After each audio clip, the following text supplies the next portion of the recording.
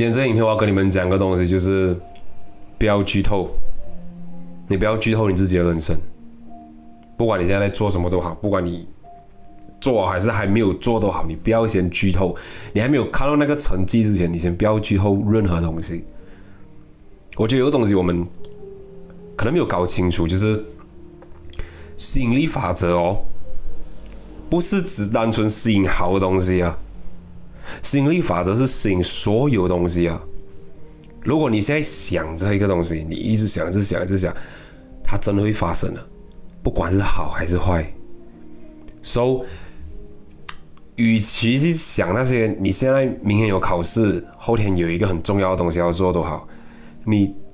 你要做的东西就是你你你给完你所有你能够给的东西，OK，然后。成绩都还没有出来嘛，那些东西都还没有出来嘛，你就不要去想先。真的有什么东西跑过你的脑袋，完了啦！我觉得我不会，不会考到很好诶。有这个东西跑过，你就马上让它快点消失。最好的就是不要去想，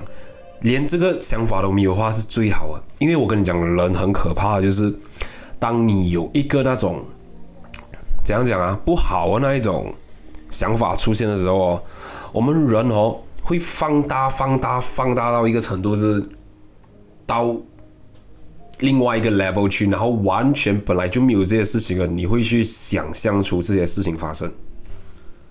我今天要提这个点，就是因为我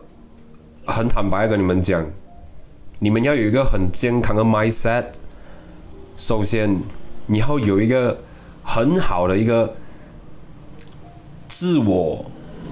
怎样讲啊？self awareness，你要有一个自我的那种怎么警惕吗？就是你要自己跟自己讲说，我不可以这样子想哦。我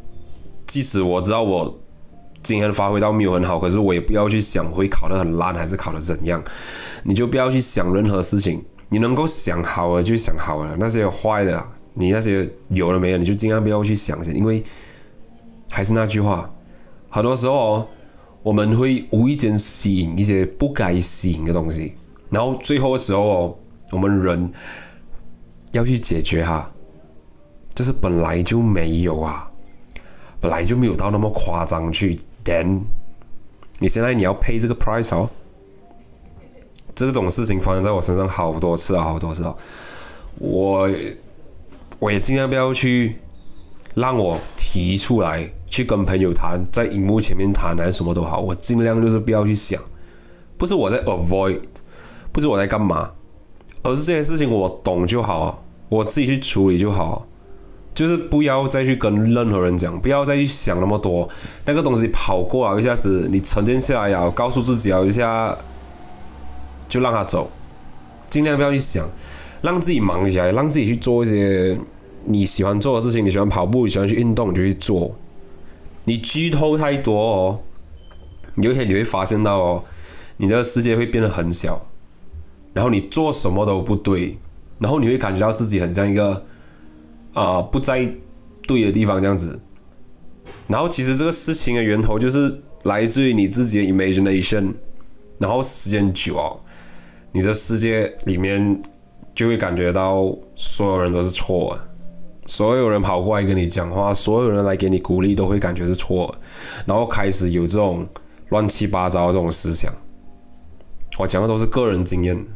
就是你你你吸引到一个程度后，你开始去 avoid 好的事情啊，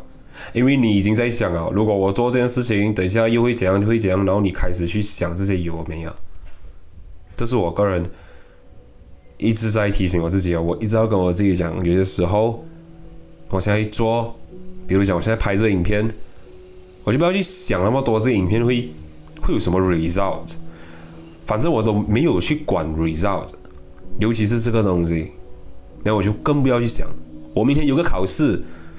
我更不要去想我会考的有多高分还是多低分，我就好好读完自己的书就去考就对了，因为一旦你想的越多，你的行动力就会下降。我最近看到一句话，来当做这个影片的结尾，就是我们人为什么会焦虑？你知道吗？就是因为你太在意过去，然后你又太担心未来啊，然后此时此刻你忘记掉你手头上还有其他东西要做，所以活在当下，你控制不到未来，但是未来需要你，你也控制不到过去，因为过去不需要你啊，所以好好活在现在，此时此刻。这个影片结束过后，你们就去做你们想做的东西，一定可以的，所有人都可以做到。加油，拜拜。